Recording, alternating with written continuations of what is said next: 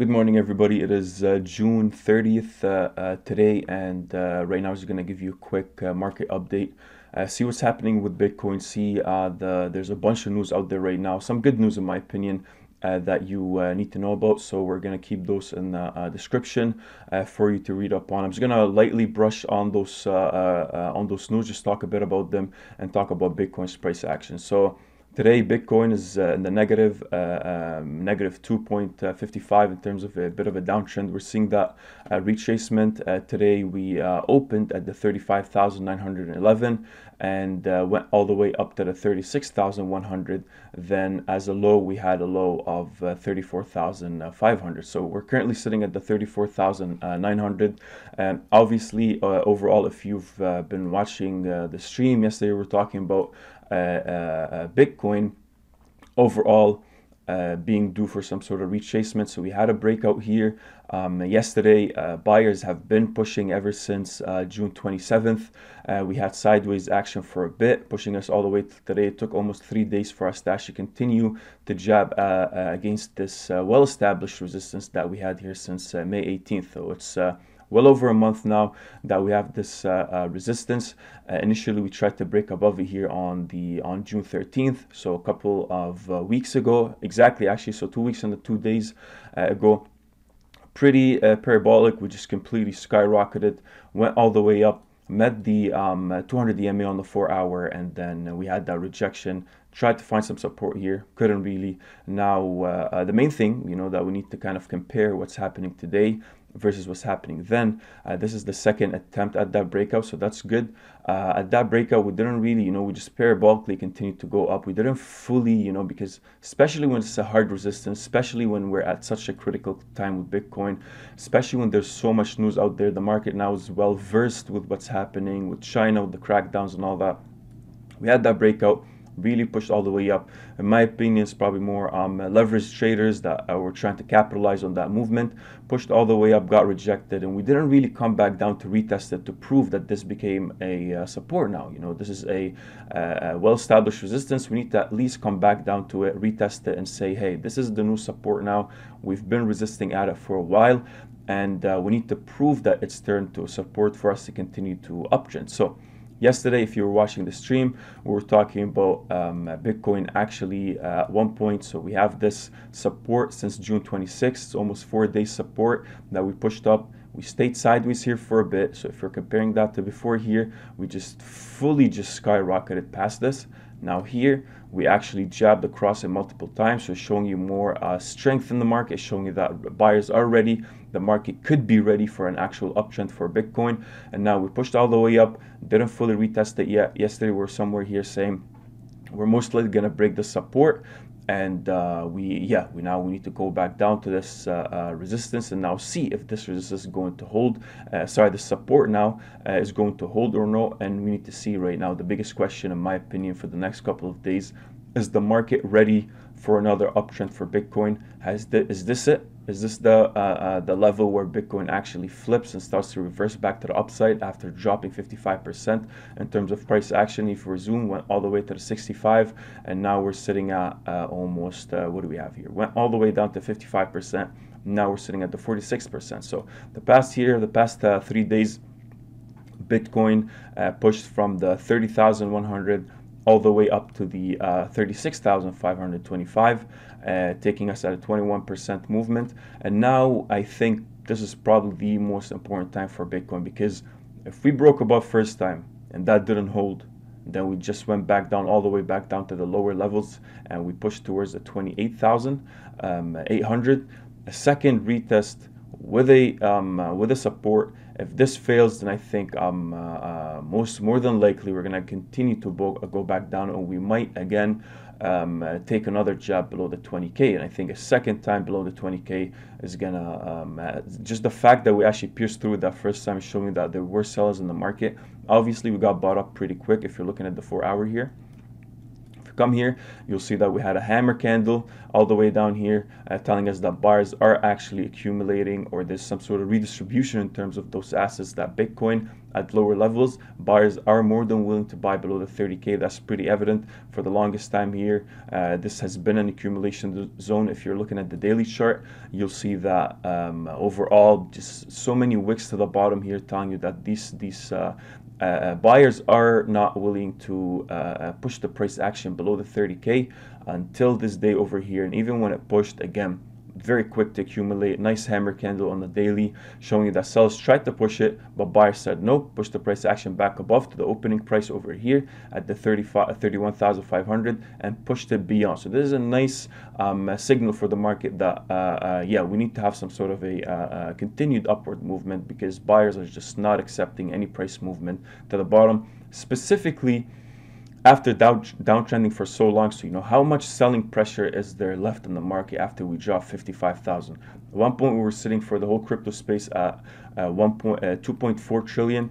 Uh, now at these lower levels here, got to I think 1.1 or 1.2 trillion dollars. So there's a whole, uh, sorry, close to a trillion dollars that actually left the mark in terms of selling uh, pressure. Continued selling for a while here. It's been around uh, two months and a bit, three months and now we're here so um, again buyers are expected to come in at this level and even if this level does not hold you'll see how quickly these buyers are actually buying up at uh, any any dip below the 30k so uh, this is where we're at right now uh, overall you need to pay attention to the next couple of days here i'm looking at the hourly because you can't really see much on the, on the four hour pretty clear uh, we dropped, we, we, we hovered here for a while. Buyers really were persi persistent to uh, breaking this break, uh, to breaking above this resistance, pushed all the way up, came here for a bit, it stagnated.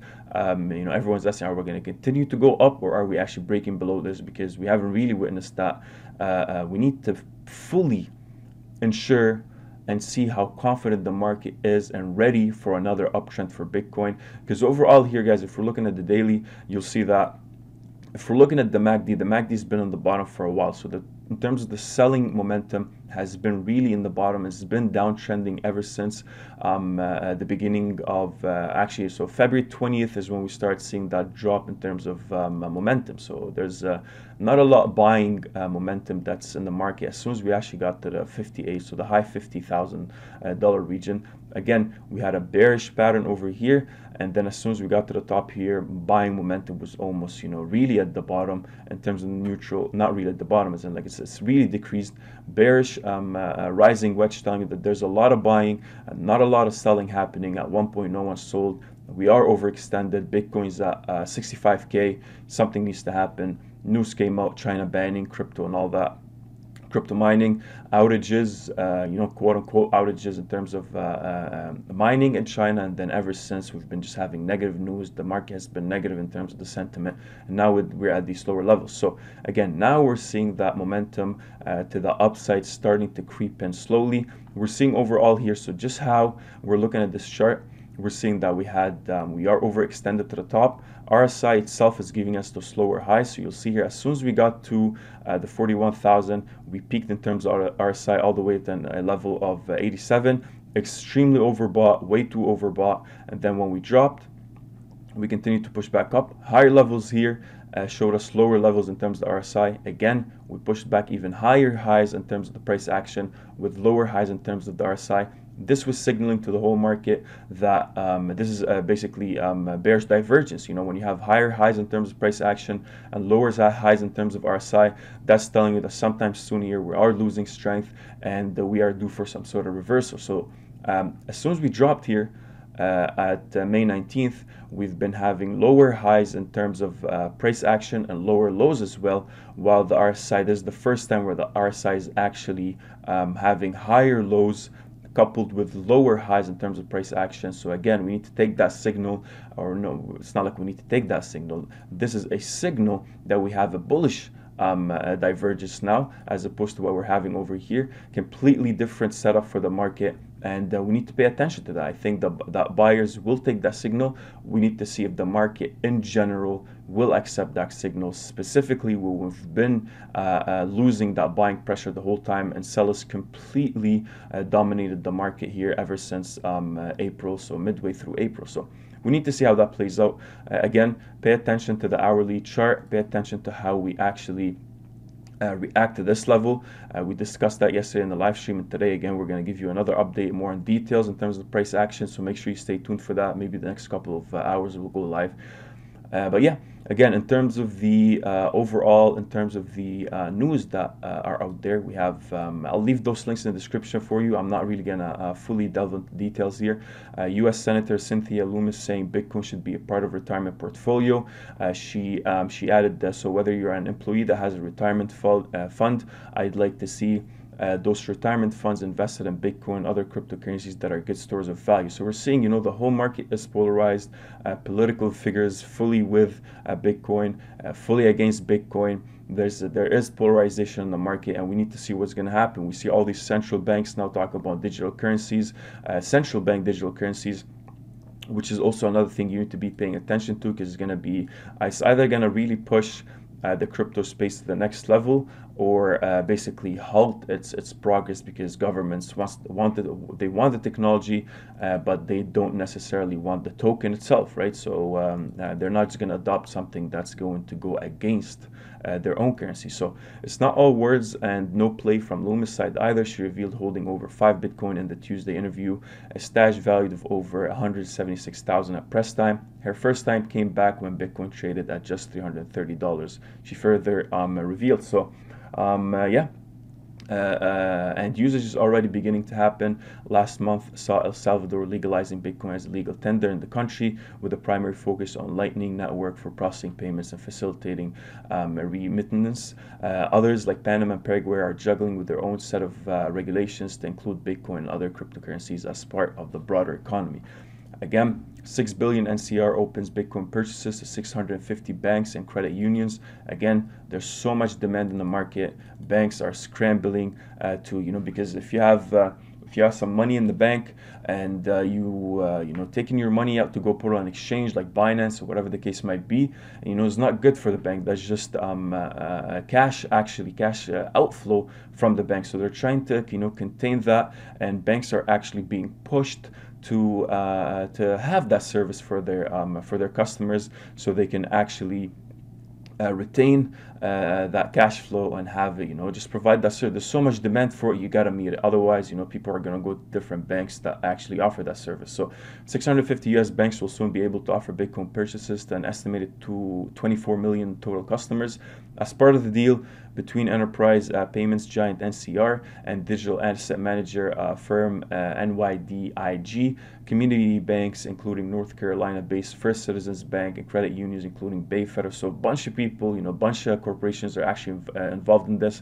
Um, instead of having to deal with the burdensome regulatory requirements uh, related to actually holding the cryptocurrency for their customers, the financial institutions that opt to have that service available will rely on NYDIG's custody service.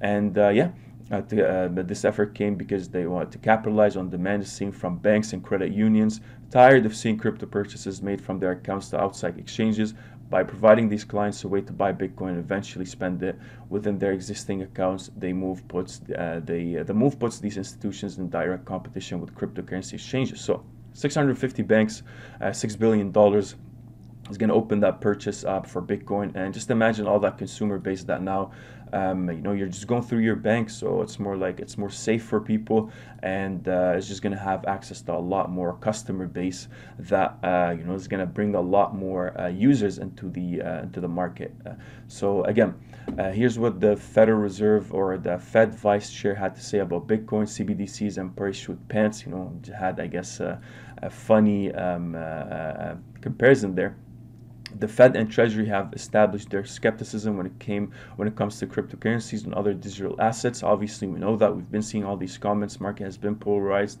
Uh, we understand that. He's saying gold will always glitter, but uh, novelty by definition fades. Bitcoin and its ilk will accordingly almost certainly remain a risky and speculative investment rather than a revolutionary means of payment, and they are therefore highly unlikely to affect the role of the US dollar or require a response with the CBDC.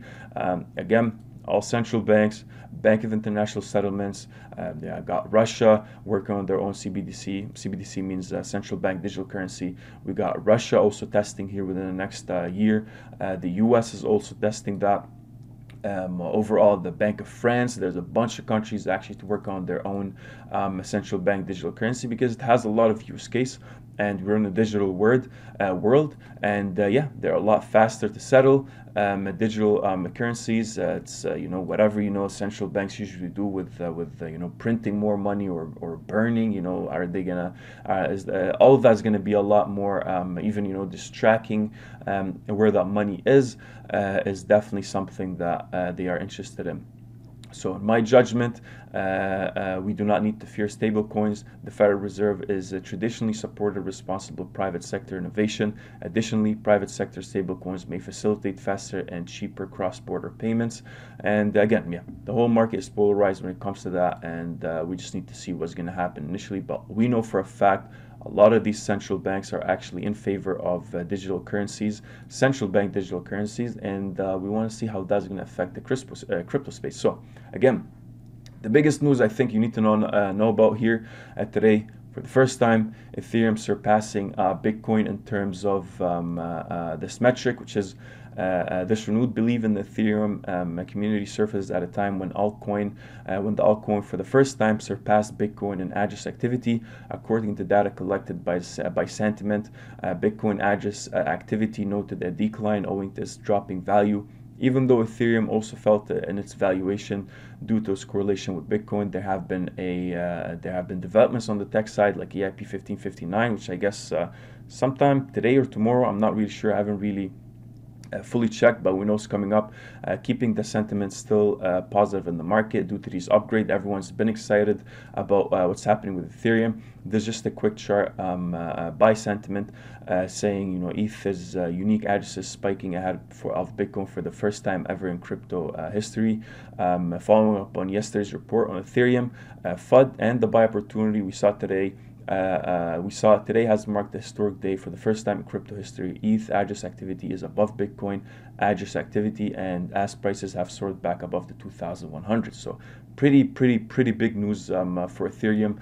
Uh, a lot's been going on and everyone is excited for the um, you know for the new uh, for the new reduced fees for the faster transactions and uh, for you know just more security which is going to attract a lot more use uh, user base and uh, yeah everyone's excited for defi. You know all these banks are 100% going to uh, try and you know have some sort of a uh, they're just going to start dabbling in the defi space and see how that uh, how how certain protocols are actually going to be adopted. So ethereum Uh, everyone's been talking about Ethereum actually flipping uh, Bitcoin at one point. So I guess uh, we're seeing that for the first time right now in terms of address, address activity.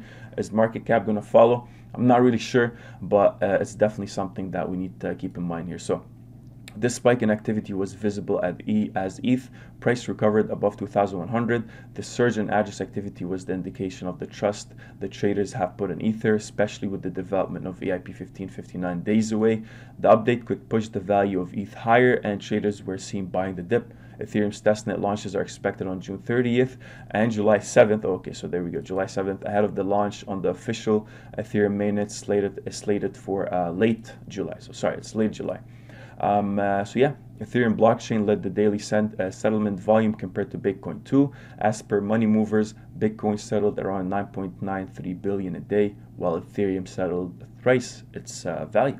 As the market takes a turn, users has also uh, have also been expecting positive, positive moves from Ethereum. The crowd sentiment towards Ethereum remained historically low, presenting a great potential opportunity to buy uh, against the masses. So uh, let's see how that plays out.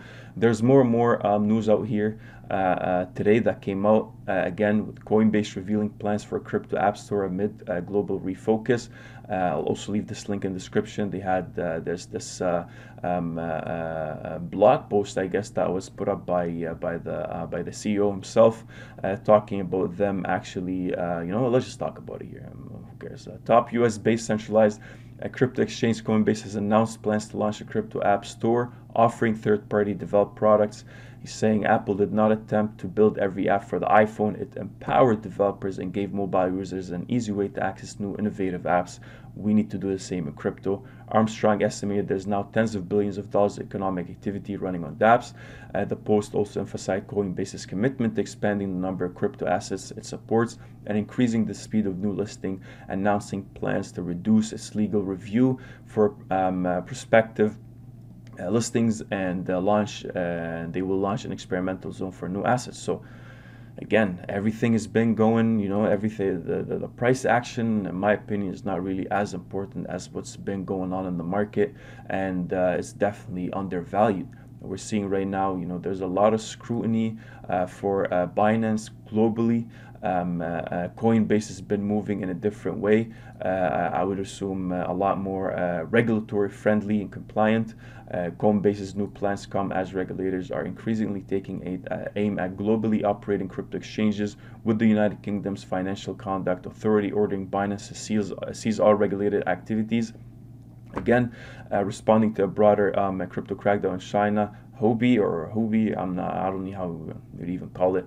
Uh, uh, they banned Chinese users from accessing its derivative, uh, derivatives product in addition to retail traders in the UK. Again, in April, the financial regulator, uh, regulator of the Canadian province of Ontario accused Bybit and KuCoin of violating local securities law with Bybit also coming under fire from Japan's Financial Service Agency uh, the following month. So, a lot has been going on in the market uh, that you need to pay attention to. Uh, there has been uh, a huge shift right now. You know, we've been asking for uh, adoption. Adoption is here, but adoption also comes with a lot of regulations. And uh, yeah, for us to bring in those big guys, uh, those big corporations, there's a, a, compliance aspect that we need to understand uh, that they need to have a sustainability aspect to it. You know, in terms of well, what is your product? how's your product affecting the environment? Is it sustainable? Uh, and um, you know uh, these questions have been getting asked. And again uh, this always happens for any new product in the, in the in the space and the market. And the government comes in and they start to you know ask questions and actually move forward on on those exchanges. And those exchanges have to comply. Otherwise you can't really access the market. And that's what's happening right now. You got uh, Binance US um, instead of uh, just Binance, uh, um, they have their own US um, website for it. Is that going to happen for Canada, uh, for in Ontario? Is that going to happen, you know, also for KuCoin, Bybit? We're not sure, but then again, for them to access those those markets, they have to be compliant and they have to follow certain regulations. So we'll see how that plays out. I'm gonna shut up. I've been talking a lot here. Thank you guys for watching. If you uh, uh, make sure you know uh, stay tuned. If uh, if you're not subscribed to the channel make sure you subscribe. Uh, you know if you like the video uh, make sure you press that like button. We're going live here within the next I would say couple of hours. It's 8:30 here my time. So I would say sometime within yeah 10:30 or 11 o'clock is we're gonna low, go live. So make sure you stay tuned. Thank you for watching and have a great day